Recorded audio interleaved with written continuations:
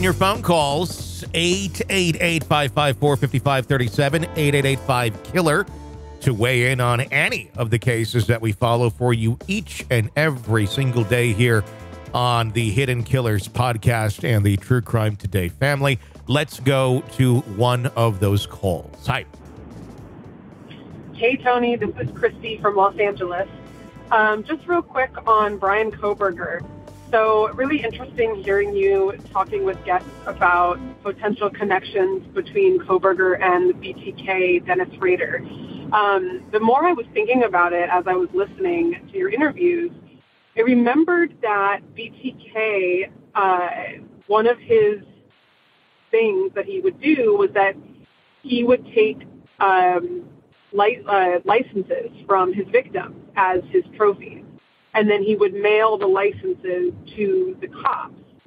Um, I remember that that stood out, and if we recall, um, Kohberger also took a license or an identification from somebody mm. at that house.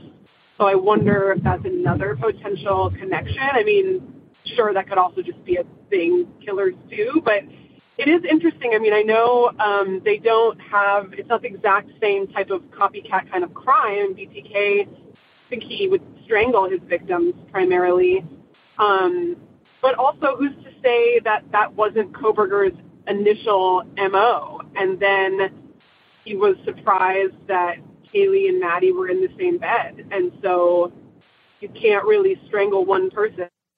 Person is there trying to like fight you off. So perhaps he had to quickly pivot and brought a knife as a backup or to threaten someone with a knife, like that kind of thing. And it got really turned around.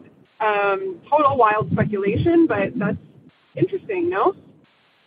Hmm.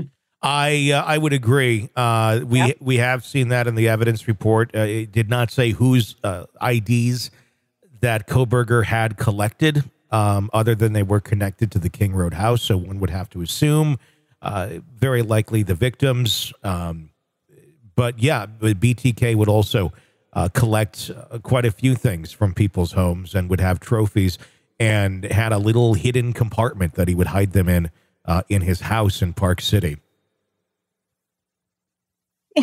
You know, somebody who is studying criminology, that part just, I don't understand doing that doesn't that just automatically link you to a crime if you've stolen somebody's identity or they're stolen their ID card? I mean, it just it puts you so much closer to a specific person. Uh, why would you do that?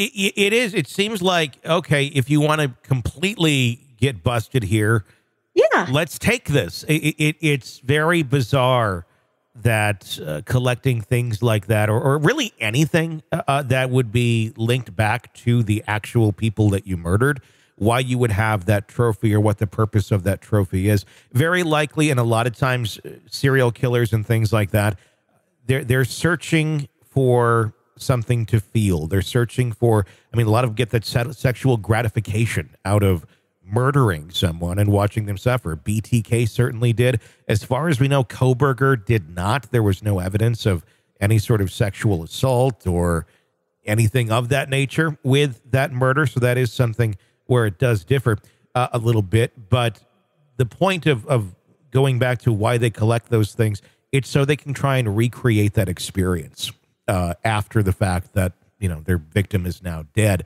Bundy would return to the sites of where some bodies actually were at times. Uh, it, it's it, it's disturbing. There, there's many people who do that sort of thing, and sometimes just having the object that's connected, they use it as essentially, while the rest of the world uses Pornhub, they're getting the um, the driver's license out or the you know trinket that they stole from the house. Yeah, and what is so bizarre to me is to steal a trinket have something in your possession that could link you to the crime but yet you go to this great length to clean the you know any evidence yeah. off your car or yourself it it just in my brain it doesn't make any sense no i mean it doesn't make any sense but the whole crime itself doesn't make any sense why no. they're doing it so the, you got to look at it through their prism of what they think makes sense and what doesn't make sense and it's going to be a whole jumble of wrong completely. Let's, yeah, and uh, it's hard for for people like you and I who we this is not something we would ever do. It's really hard to look at it through that lens. It just doesn't. It's all distorted and cracked, and it doesn't make any sense. it, it is, and that's what makes it so hard to you know to understand any uh, of these people for what they did or how they did it or why they did it. Um, is it like getting a, a concert t-shirt? You want to you know pull it out of the laundry and see it every time and go oh i had a great time at that concert. Is that what these trinkets are? To a certain extent but it's usually much darker and for sex. Oh, right. uh, or, or to, uh, bundy him, ted bundy would sometimes return to the scene of his crimes and engage in sexual acts of necrophilia with the mutilated bodies and would oh, further oh, mutilate God. them.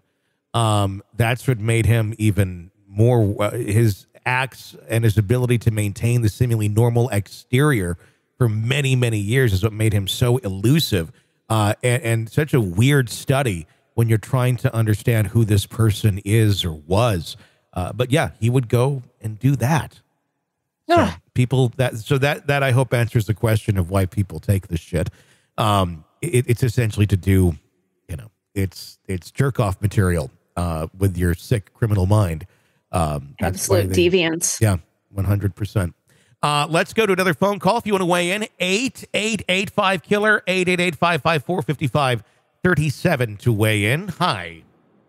Hi, Tony. This is Drew from Iowa. Uh, I, have called a couple times and, and uh, um, big fan of your show. I know you've actually played some of my stuff in the past, and uh, I'm talking about the Kohberger case right now. I was just listening to the uh, the one you had with Bob Motta about about Kohberger and uh, more specifically the uh, investigative grand jury in Pennsylvania that involves his parents.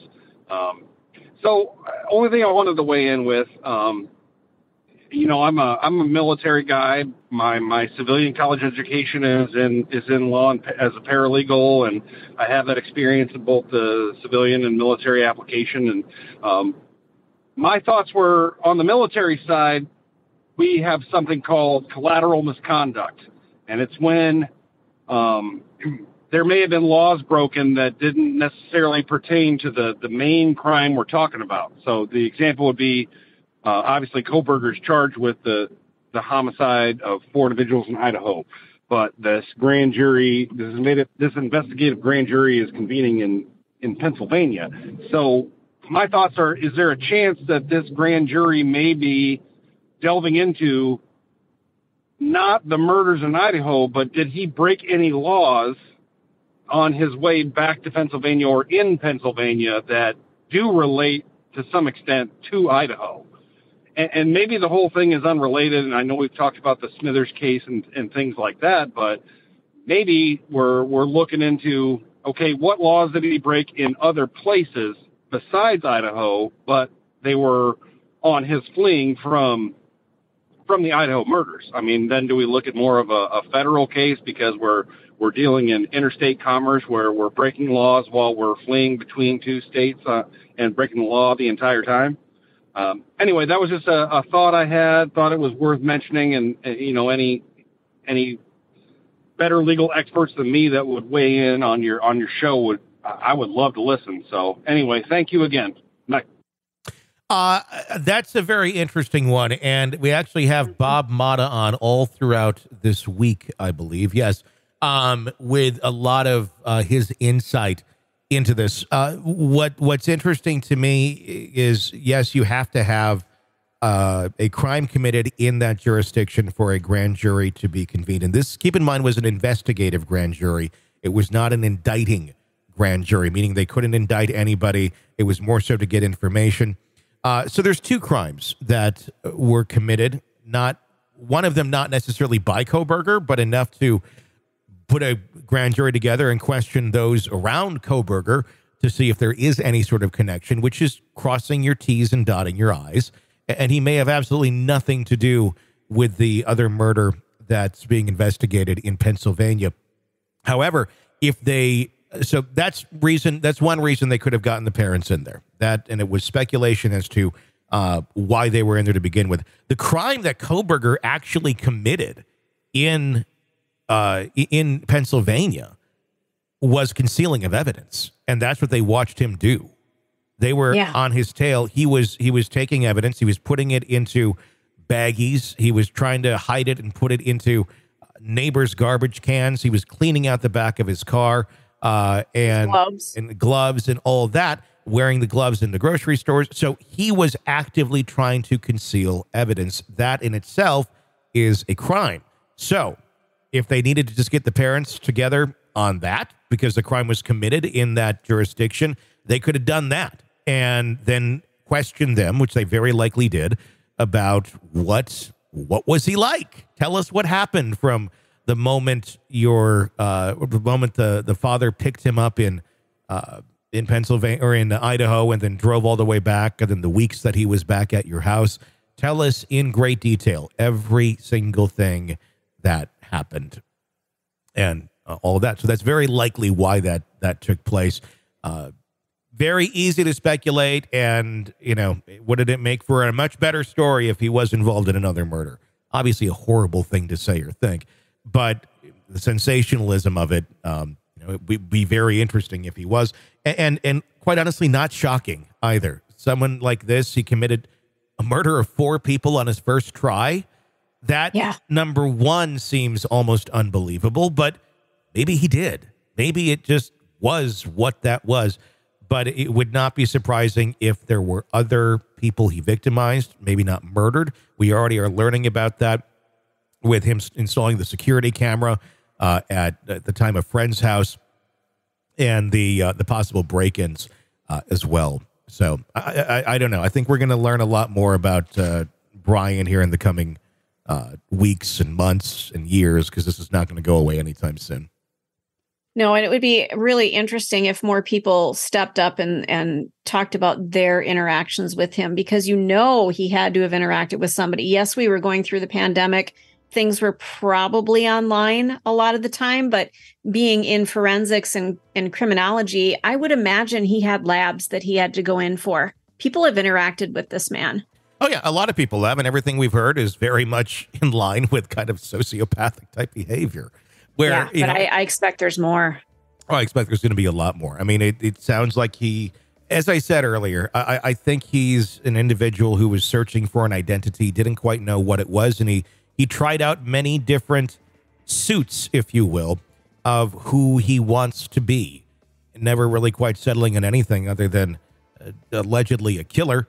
And I think even in that, even in being a killer, still, I don't think quite comfortable in his own skin. I think still, even there, taking bits and pieces from others to try and make up who he is. is an individual who probably will never find out who he he really is, other than a very twisted human being uh, that's that's missing something uh, innate in in his being.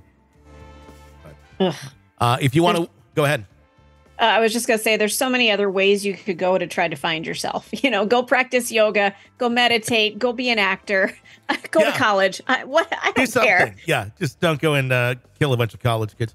Uh, if you want to weigh in on this and what your thoughts are, 888 554 5537. 888 5 Killer is the phone number. We would love to hear from you.